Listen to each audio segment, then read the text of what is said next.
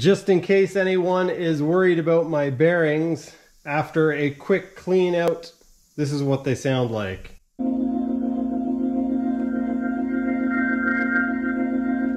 Nothing to worry about. What's up everyone? Welcome to another Joel Arseneault YouTube video. In this one, I'm going to be rebuilding this Krash KV997 crankshaft. As most of you probably already know, I recently acquired several crankshafts that need rebuilding, so I purchased myself a hydraulic press, and in this video, I am going to rebuild my very first crankshaft. I've worked at shops before and I've taken part in some of the processes, but this is a first crankshaft that I've rebuilt from start to finish by myself, and I'm gonna take you guys through the process. If you guys wanna support me on Patreon, there is a link in the description below. Every little bit helps. If you guys wanna see extras, outtakes, and random nonsense, I have a second channel called Lowered Expectations, link also in the description below. I did have to build a few special tools to make this project happen, but I won't be going over that in this video because it's already going to be long enough. So I'm going to release that in a separate video. If you want to see that, be sure to stay tuned. That being said, I am going to start off this video by explaining to you guys the special puller that I made for removing bearings. The way that this works is bearings have balls in them and those balls sit in grooves. And so what I did is I basically measured the size of the balls and I made the biggest part of this the same size as the ball or a little bit bigger. And then I machined down a little bit of a shoulder and then machined off the sides here and here. I'm not sure how well the camera picks that up. Basically the way it works is you slide it into the bearing. First you have to remove the cage and that allows me to put this piece in and then I can turn it 90 degrees. And once I have it turned 90 degrees sitting in the groove, it locks in there and it won't come out.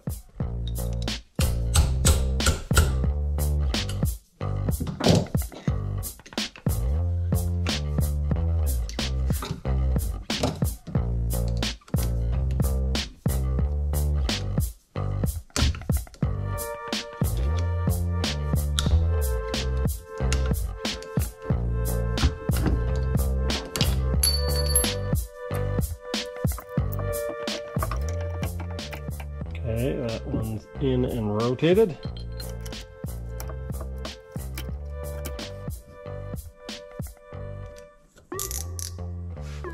Let's make sure these are rotated 90 degrees. Tighten these zip ties up. All right, I'm gonna put a little bit of force on it, not gonna push it too hard.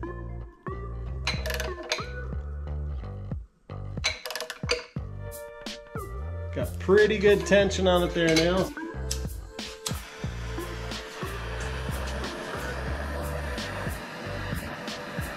Whoa, it moved. That scared the crap out of me. Heat is your friend, folks.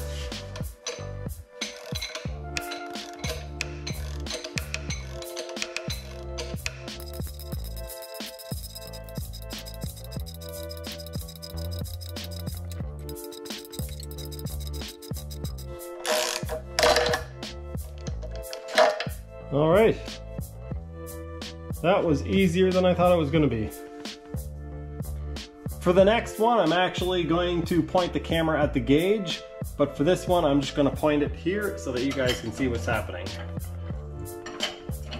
All right, we are up to, oh, that was only about four tons, maybe four tons.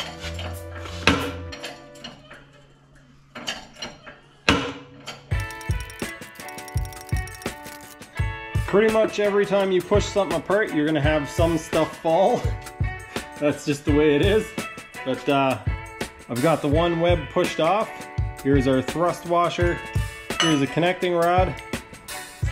I don't know what this thing weighs, but it's pretty substantial. So what I need to do is make sure that I've got this picked up, secured in my right hand. And then I take the crank in my left hand. Try to slide the two together line everything up and then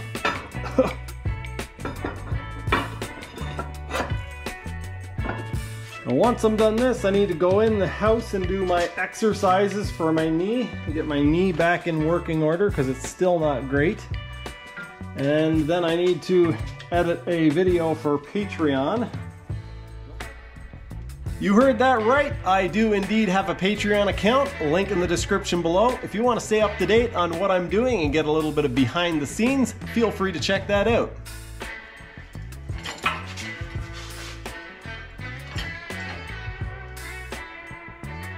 There's four tons.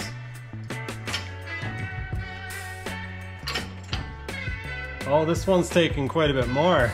There's five tons. Oh, so I went to about six tons.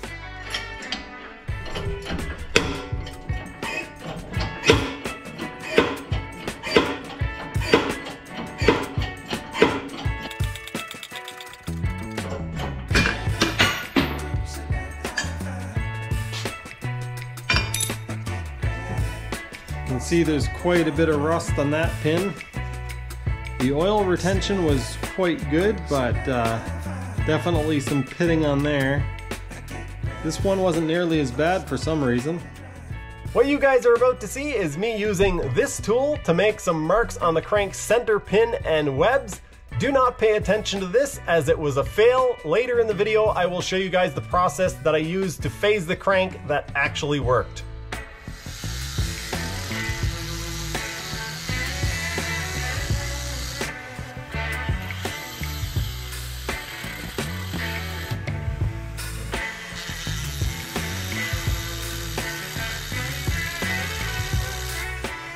I've been contemplating how to push these webs off and I think what I'm going to do is use this plate and actually push the bearing and the web off all at once.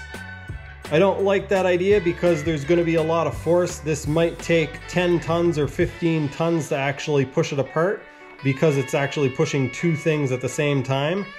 But uh, the alternative to that is pushing way out on the outside of the web and I don't like the idea of that either. So I think this is the lesser of the evils, and so that's what I'm gonna do. Put that like that.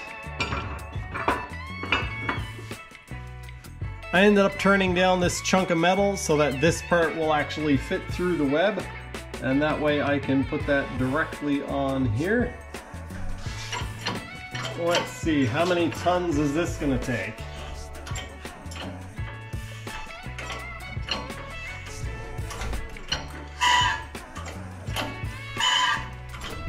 There's six tons. Oh, good.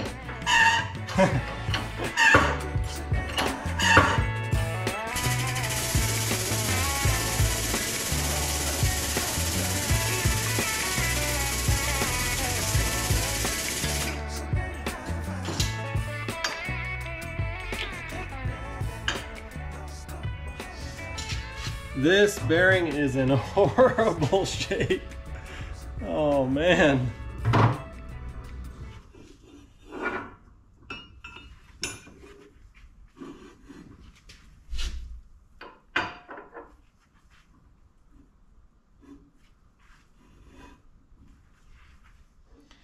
When you're using a press, a lot of your special tools look an awful lot just like blocks and sticks of metal because they're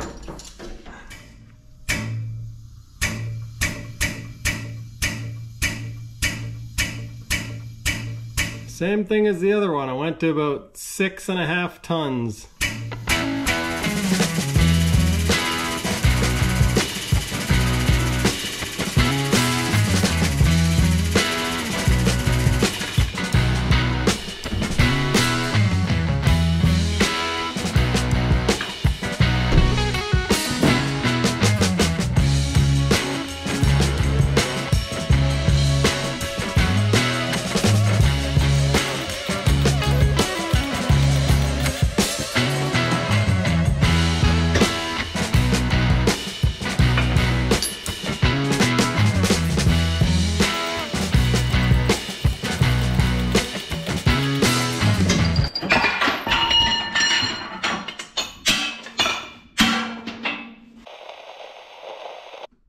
Have the crankshaft pushed apart into its individual components and laid out on the table. I'm going to be reusing these crank seals because they're in good shape and because I couldn't actually find any. So it's good that they're in good shape.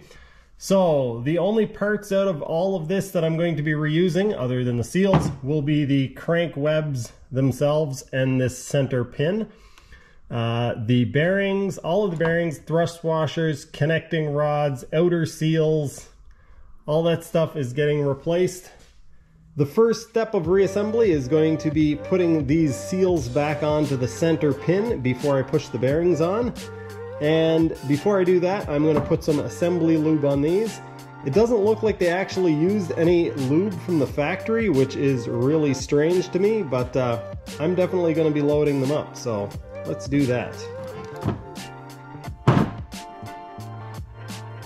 Make sure I get lots of assembly lube in here. Can't really use too much. The seal is a bit of a stretch. I know it's probably hard to pick up on camera, but there's a little bit of a step or a lip here, and the seal actually rides on this intersection or the smaller diameter. You have to get it over the big piece to get it down onto the small piece. These are the bearings that I'm using for the inner section of the crank, the two inner bearings. They happen to be the same bearing as a 580 650 Sea-Doo, uh, 89 to 96. The number on the bearing itself is 6207NC3. The C3 is fairly important because what that is, is they actually give a little bit more play in the bearing which allows it to heat up more without uh, causing the bearing to tighten up. So that's fairly important if you're getting bearings. If it says C3 on the originals, fairly important to have that on the one you're replacing it with.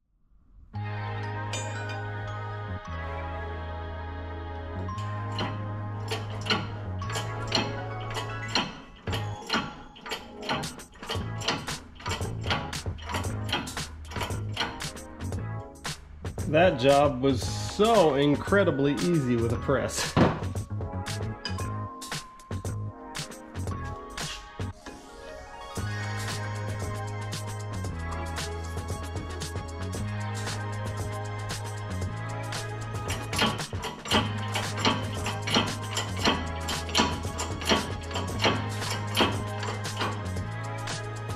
going to try to push the bearing onto the pin just a little bit more, just so that I have a bit of the shaft sticking out. I'm using a socket. I'm not sure if the diameter of the socket's big enough, but it looks like it is. All right, that will do. It won't go on very far, but it managed it managed to push it on a little bit. So now I'm going to do that same thing on the other side.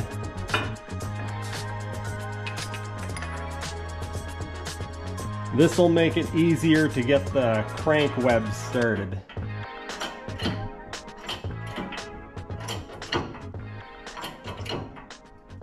There we go. You can see now the shaft is sticking out just slightly from the bearing.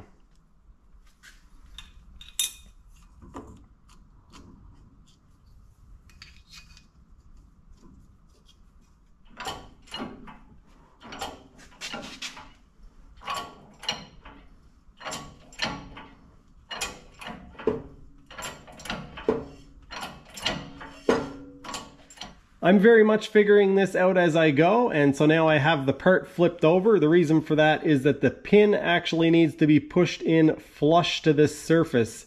And so if I had it flipped over this way and continued pushing it through, what would happen, because there's this step, the pin would actually go too far because it would protrude until it hit the plate. And so what I'm going to do, I've got it flipped over this way and I'm going to use something to push down directly on the web and that way it will only push down until that piece hits the pin. I will show you guys now what I mean.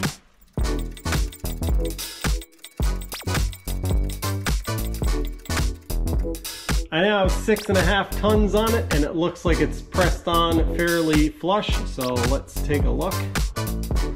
And I somehow miraculously ended up with my alignment marks very close to being lined up. So that will give me some sort of an idea if I uh, still have the crank phased properly when I get it together. As soon as I got finished pushing this web on, I realized that it's gonna make it a little bit difficult to get the big end pin in.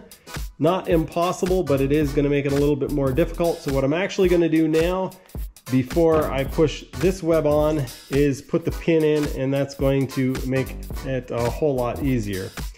This is the connecting rod that I'm using. It is a Pro-X connecting rod kit. Same as a CR500. All right, I need to do some measurements. CR500 pin 6757 2603 These are a lot shorter. What is going on there? The connecting rod is the same, the pin is different.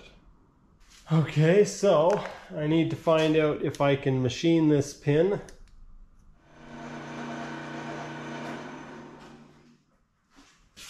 Good news, it works, kinda. As I think I already showed you guys, the CR500 pin was a little bit too long, actually almost 10 millimeters too long. Fortunately, I was able to put it in my lathe and cut it down. It was a bit of a slow and annoying process, but I've got one of the pins cut down. I'm gonna have to do the other one, but first we're gonna press this one in.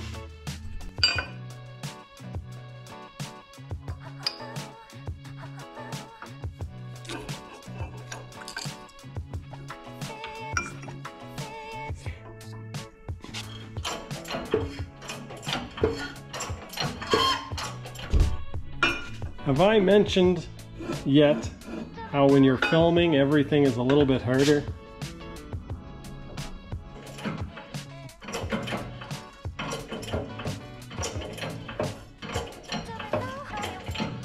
Not only is it working, but I can actually see how far the pin's going in.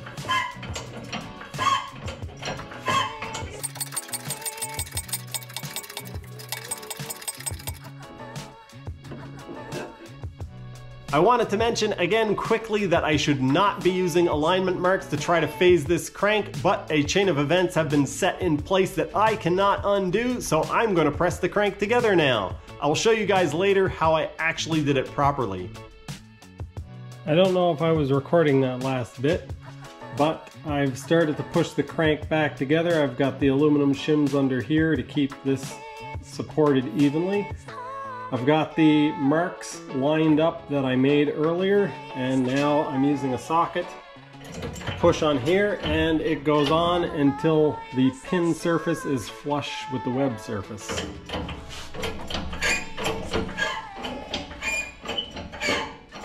It's taking about four tons of force to push it on.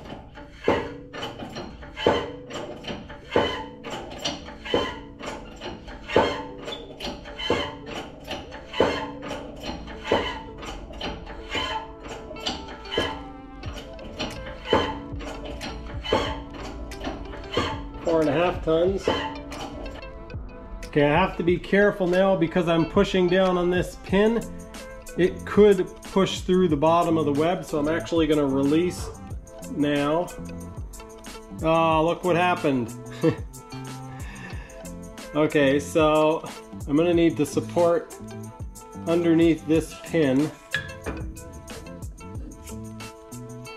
Now that I've supported underneath the pin, I can push this web into place and then I'm gonna have to basically push the crank back apart a little bit. Which isn't too big of a deal, but it's a bit annoying.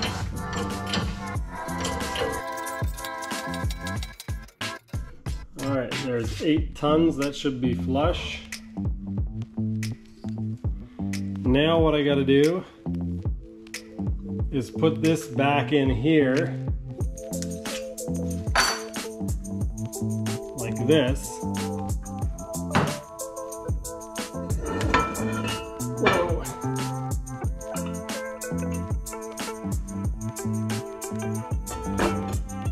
And push that pin back through because I pushed it too far.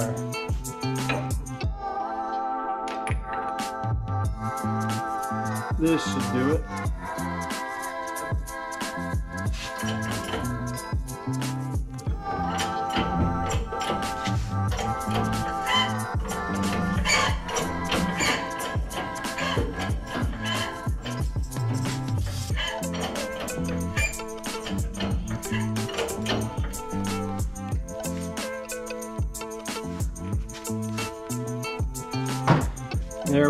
That is perfectly flush. Now that I have the two inner crank webs pressed on and phased, I'm going to install one of the connecting rods.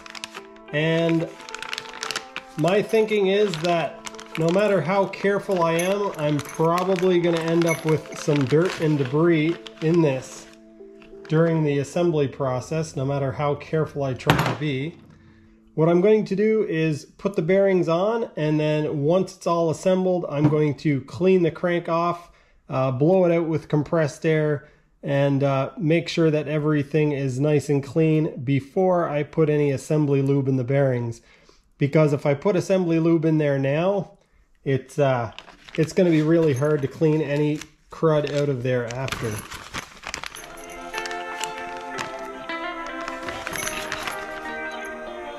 This is easier with grease, of course, because the bearings all just stay in place, but you can do it without it, as you see. You just gotta be a little bit clever.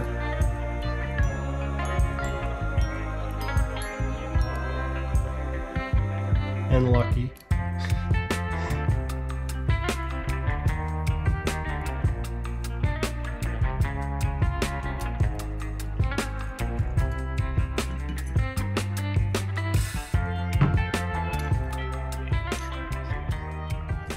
Assembling this crankshaft with a piece of angle iron isn't going to get it perfect. I will need to do some adjustments, but I believe that this is the best way to do it considering the way that the crank webs are built. On some crankshafts, if they have a full web, so if they don't have the web with a big notch cut out of it, then you can actually use a straight edge to line everything up. But for this one, basically you sit the webs in the, in the uh, angle iron and then you kind of put it together and then you get a hammer or something and you tap this on to get it started and then you press it together. The reason why this works is because if it was out of alignment, you can see if it was twisted like that, obviously the pinhole doesn't line up.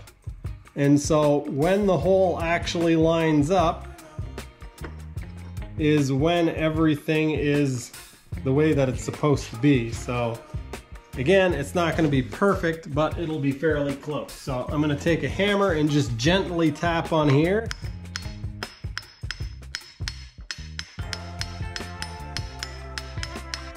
I now have that on there just enough so that I can carry it over to the press and then I can finish pressing it on.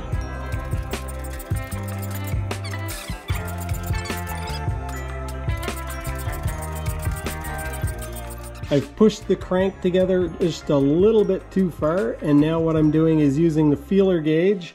I'm going to start putting pressure on this and when it gets to the right clearance I will be able to uh, slide these two feeler gauges in and uh, yeah all will be well. So let's start pumping.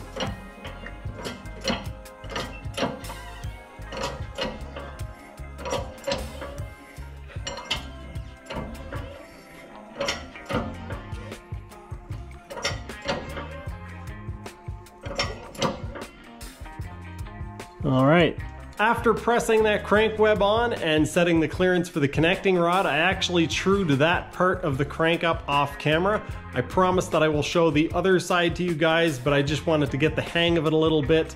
And also I had to deal with camera memory issues.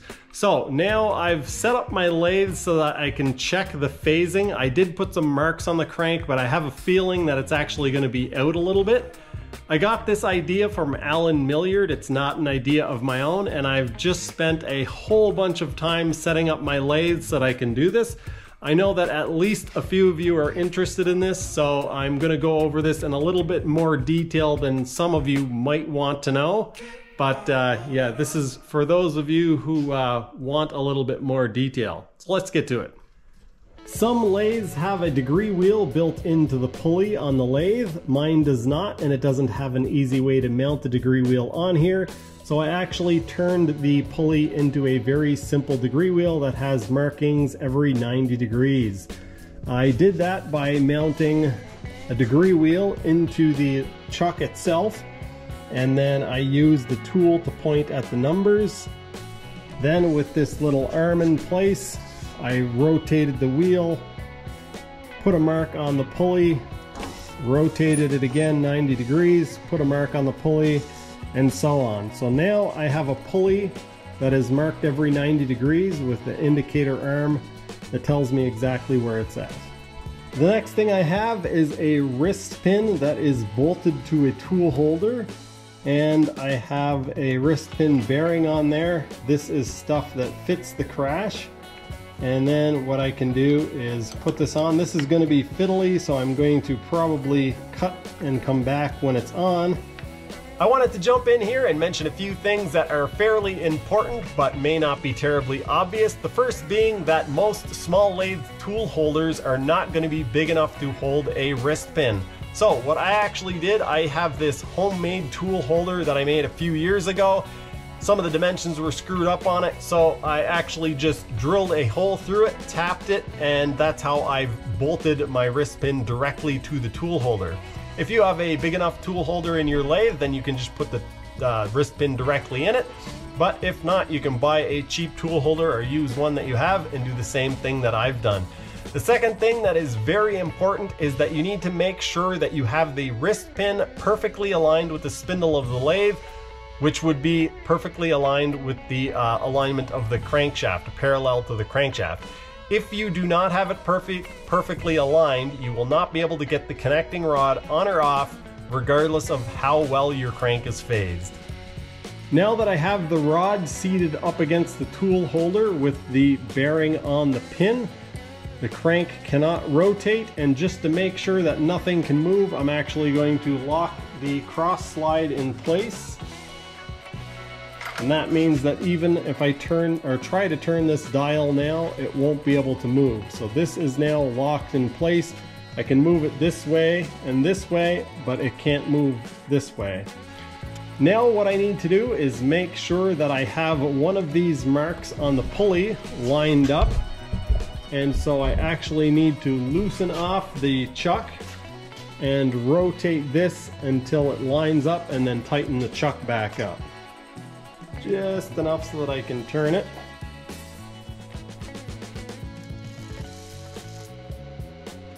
And get it exactly lined up. I'm gonna have to move you guys so that I can see this mark exactly. All right, that is exactly lined up. So now I can tighten the chuck back up. Now that I have that lined up perfectly and have a good reference point, what I need to do is move the apron across to the right, removing the bearing and the pin from this connecting rod.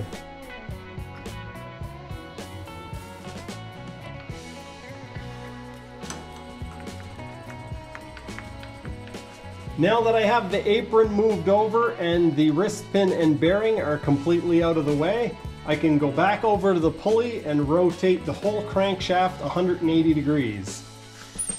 That is 90 degrees. And that is exactly 180 degrees. And now comes the part where hopefully this starts to make sense to you guys. Because this is locked in place, the only way this connecting rod will fit on here is if this is actually phased properly. If this is out by even a degree, there's no way that this connecting rod will actually go onto this wrist pin. So I have a feeling it's actually not going to work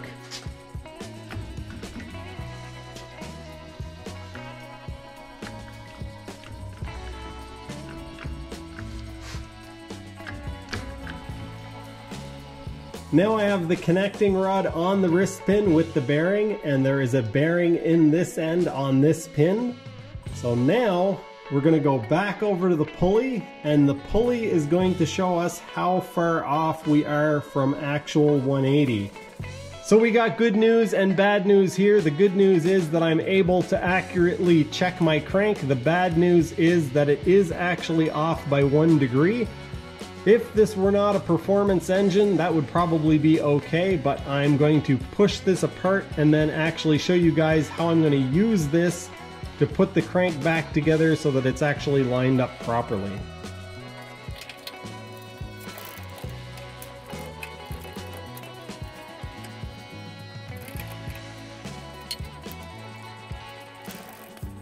I now have it set up in my lathe again, set at zero degrees. So now what I'm going to do is rotate it 180 degrees as indicated by the marks on the pulley.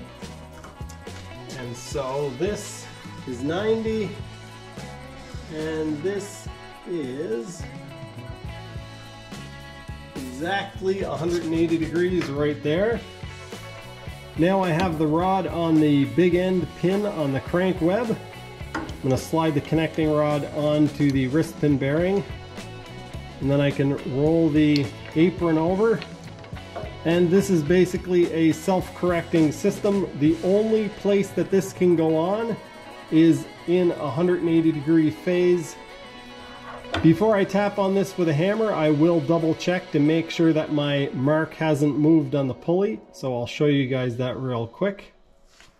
I've got that mark lined up perfectly at 180 degrees. And all I need to do now is take a hammer and gently tap on the crank web. That will seat it in place and then I can take it over to the press and finish pushing it together. Now that I have it seated on there, I'm going to double check the 180 mark to make sure nothing has moved. Then I can take it over the press and finish pushing it together. Just in case it's not terribly obvious, this is how I should have phased the crank in the first place instead of trying to use reference marks. A big thanks to Allen Millyard for sharing this. Uh, I don't know how I would have done it if I hadn't seen his video. If you guys haven't seen any of his videos, or if you haven't seen all of them, go check him out. He does some crazy, crazy engine builds, and uh, yeah, next level stuff.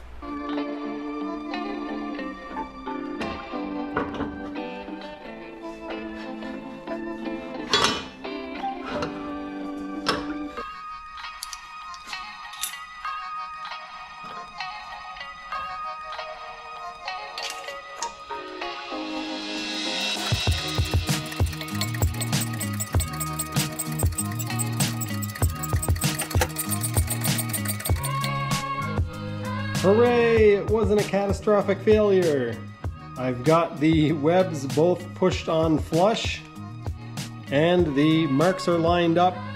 I'm going to put this back in the lathe and double check the phasing just to see if it turned while I was pressing it together, but I suspect that it's going to be perfect.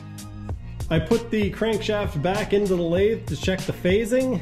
I've already done that and fortunately it is perfectly at 180 degrees so I am really happy with that. The next part of this build is going to be to put the connecting rod onto that pin and then press the other web on and then I will show you guys the process of checking and truing a crankshaft. All right, folks, the closer I get this to perfect before pressing it together, the less amount of work I'll have to do to true it. So uh, take my time here and make sure that this is lined up as good as I can get it. The other one was about 40 thousandths, I believe.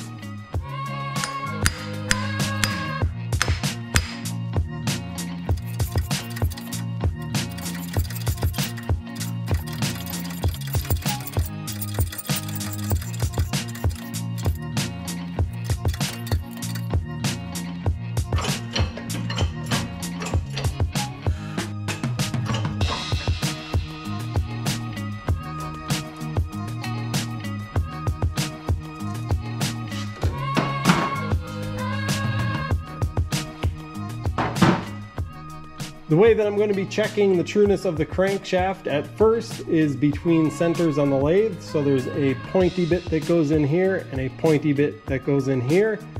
and there are holes in the ends of the crankshaft where those pointy bits go in and support the crank. And then I can rotate the crankshaft and see how much it's out on my dial gauge here. So I'm gonna set this so that it's around zero and then I'll rotate it. Okay, so my zero needs to be changed substantially because that's not the lowest point. So we can see our lowest point is right about there, so we'll make that zero. So that is now my zero. This is just an approximate just to see how far off we are. So this is about 25 thousandths out.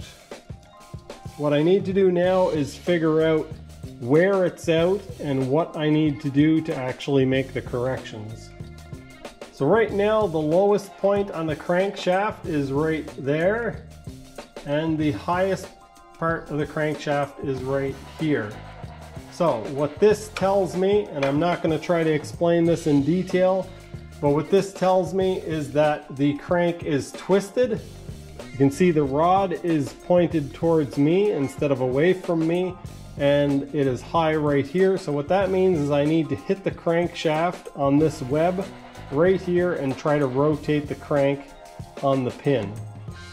And in order to do that, because I don't have a copper or brass hammer, I'm actually using this giant chunk of lead.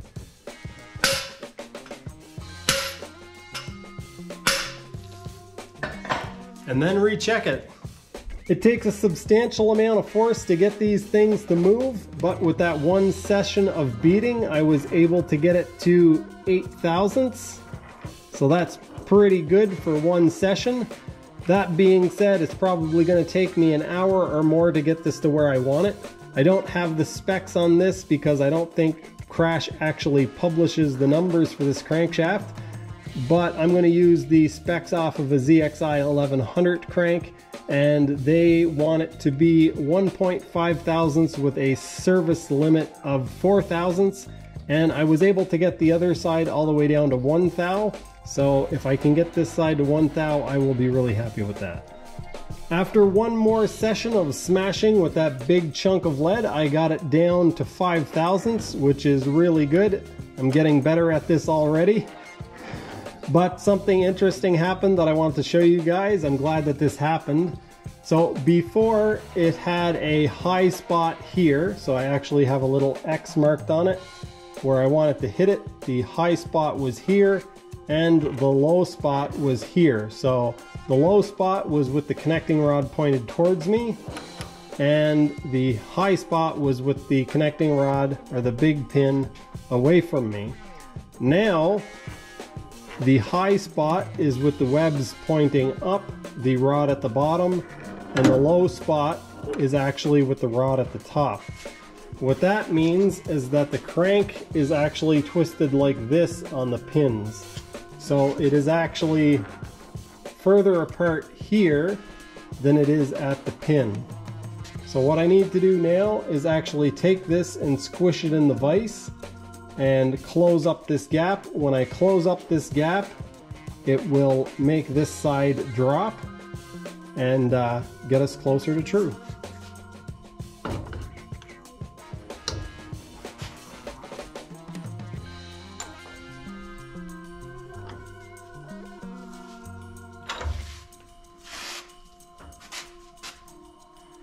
Knowing how much to squish it is kind of a trial and error thing, so hopefully I didn't go too far. If I did, I will just have to spread it the other way. As I was telling you guys before, the rod is now away from me, and that's the highest point. And with the connecting rod close to me, that is the lowest point. So again, you have to figure out exactly how the crank is off and then make your adjustments and recheck it.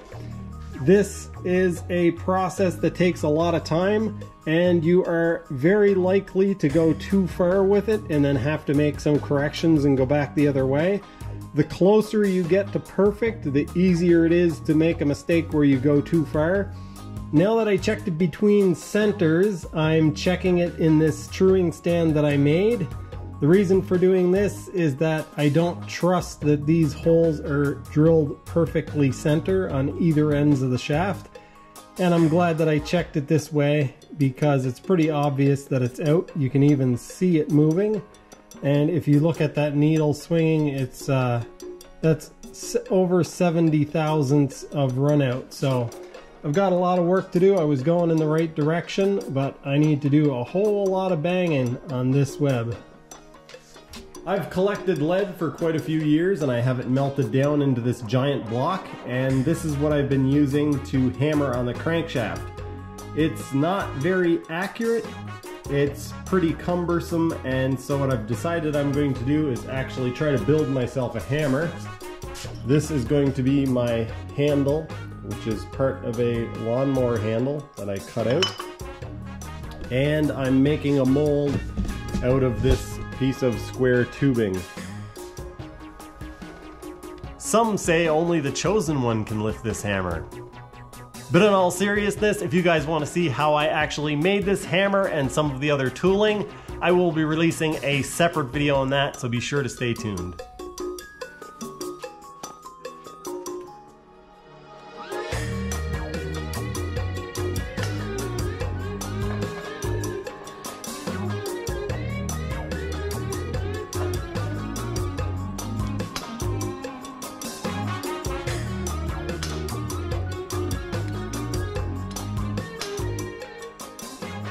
I don't know how well the camera can pick this up, especially with the connecting rod passing through the field of view, but uh, I've got both sides of the crankshaft within a thousandths of an inch. That's at zero. That's less than a thousandths.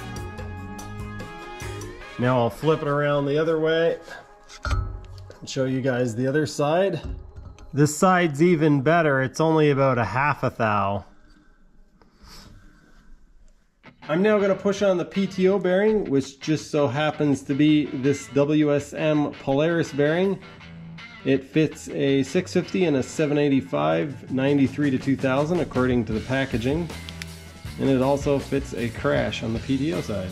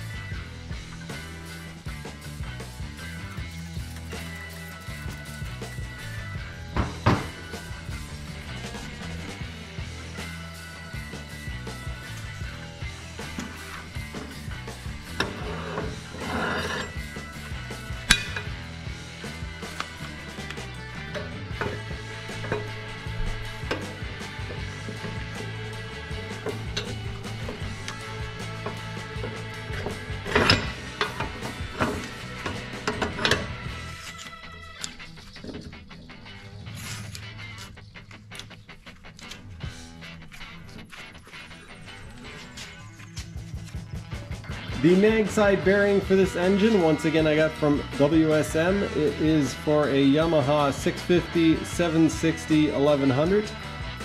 And uh, yeah, there's the part number on it. I had quite a hard time finding this and it is, uh, this was I think $94 American just for this one bearing.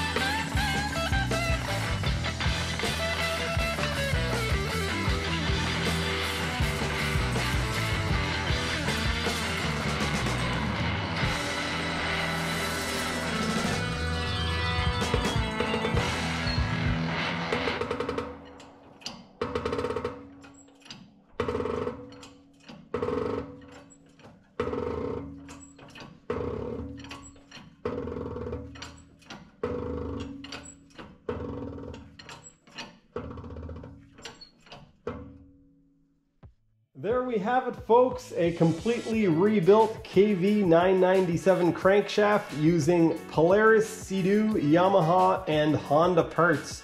We've got a Polaris bearing on this end, Sea-Doo bearings in the center, and a Yamaha bearing on the end. The connecting rods, pins, and bearings are all from a CR500, which is a Honda. And I have it trued up running within a thousandth of an inch. I am very happy with the way this turned out. These are some of the tools that I made slash used to get this thing sorted out. Uh, starting with the puller that I used to get the bearings off. These are tools that I made for the press to get the crank apart and back together. This is the balancing tool. And of course, you guys saw me make the uh, mold for the hammer and the hammer itself. I decided I would weigh this for you guys and show you how much this weighs because I was saying earlier that a hammer would cost me about $100, between 75 and 100. That was for a two pound hammer. This is actually a two pounds, 15.5 ounces, so a three pound hammer. And uh, yeah, it basically cost me nothing except for a few minutes of time. So again, I'm really happy with the way this turned out for my first crankshaft rebuild. Now I need to put this back into the cases and get this engine rebuilt, but I've got a lot of work to do before then, and that is going to be for another video. I believe I mentioned you guys somewhere in this video that I wasn't using assembly lube while putting the crank together, and I'm glad that I didn't because I did end up with some debris in these inner bearings. So I'm gonna have to clean them out. If there was assembly lube in them, it would be a whole lot harder to clean them out. If you listen to this bearing, perfectly quiet. This bearing is also perfectly quiet. Those are the two last bearings that I pushed on and they haven't had chance to get any dirt in them. However, these two inner ones, that one's very bad. And that one, again, has some stuff in it.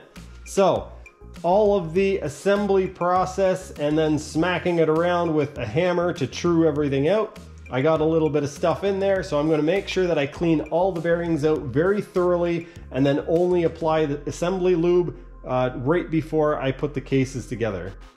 That's gonna do it for this one. I hope you guys enjoyed. If you did, it'd be great if you click that like button and also subscribe because I would like to see you here again. As you guys can see behind me, I have plenty of crankshafts that are in need of rebuilding, so I will be doing some shorter videos with a little less detail on some of those. I have some three cylinder cranks that need to be phased at 120, so that should be interesting. I'll be using the same process, but I'll have to put a few more marks on my lathe pulley. If you guys want to support me on Patreon, there is a link in the description below. Every little bit helps. If you guys want to see extras, outtakes, and random nonsense, well, that's my second channel called Lowered Expectations. Link also in the description below. Thanks for hanging out with me here. Thanks for your support. Thanks for everyone who supports me on Patreon. That's going to do it for this one. I will see you guys next time. This will probably be my last update. I'll turn off the camera and uh, show you guys the finished product. But I just wanted to show you guys that there's an airplane flying over. And I most of the time have to do each shot about six times because there's Megan coming in the door.